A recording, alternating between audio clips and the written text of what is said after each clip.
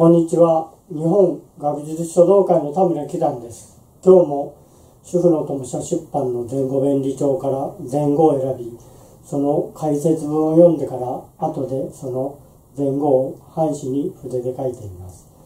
今日の言葉は、随所に主となれば立書皆真なりです。出典は臨済録です。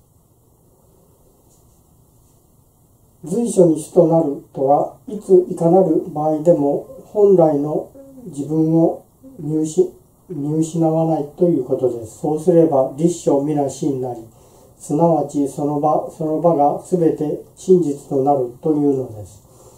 臨済前史は外に向かって工夫をなす全てにこれ治願の間つまり自己の外に向かって求め回るのはみんな大バカ者だと言っています。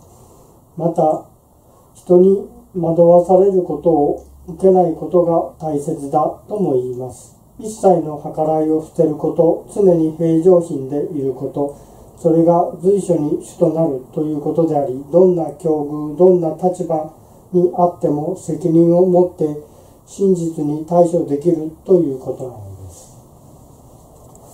それでは今から随所に主となれば立書皆真なりを書いてみます。